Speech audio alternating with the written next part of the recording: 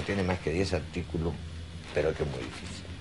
Nosotros rechazamos terminantemente, por ejemplo, al régimen comunista leninista. Terminantemente. No aceptamos la existencia de un régimen así en ninguna de sus formas. Rechazamos el régimen maoísta. ¿Por qué? Porque el ser humano deja de existir, deja de ser. Existe, pero no vive.